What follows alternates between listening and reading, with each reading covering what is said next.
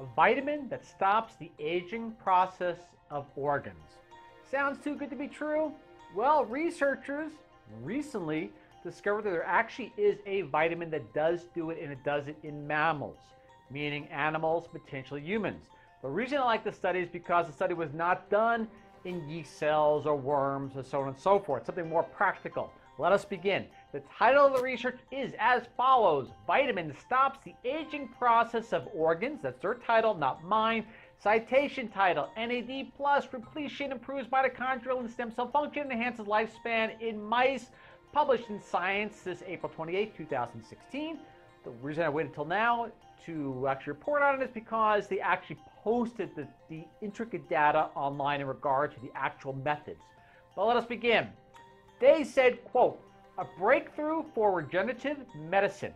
As mice, like all mammals, age, the regenerative capacity of certain organs, such as the liver and the kidneys, and muscles, including the heart, diminishes. The effects of nicotinamide riboside, otherwise known as NR, can only be described as restorative. Again, nicotinamide riboside is actually something you can find in a health food store shelf.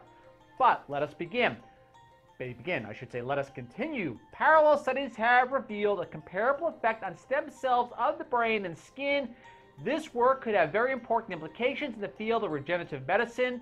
We are not talking about introducing foreign substances into the body, but rather restoring the body's ability to repair itself with a product that can be taken with food. In other words, nothing fancy, some pill or tablet you could actually take in the morning or evening or throughout the day, and boom, your body's regenerating.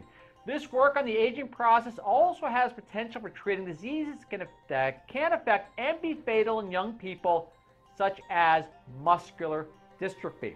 Now, referring to the chart here, if you follow the, uh, the slope as in delta y over delta x, you notice about a 20% increase in life expectancy in regard to overall in this group of mice compared to the control group. 20% is actually pretty good. Remember, we're talking mammals, we're not talking in worms and or yeast cells.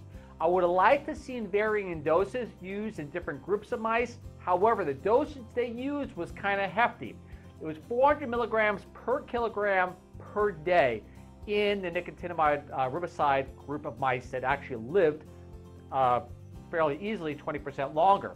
Also quoted from research, so far no negative side effects have been observed following the use of NR, nicotinamide riboside, even at high doses, but caution remains the byword when it comes to the elixir of youth, meaning they would like to do a little more research before they actually say it is the elixir of youth.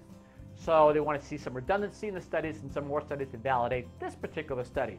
Again, overall though, still promising. There may actually be a vitamin out there that actually can at least, if not stop, slow the aging process of the organs themselves. Pretty intriguing research overall. Again, this is Ralph Turchiano signing off.